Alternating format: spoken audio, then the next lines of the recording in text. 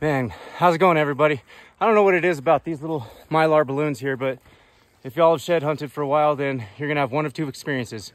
You're gonna find a lot of them and you're gonna pick them up and nothing's gonna be around them, or you're gonna find a lot of them. And for some reason, there's always sheds near the ones I find.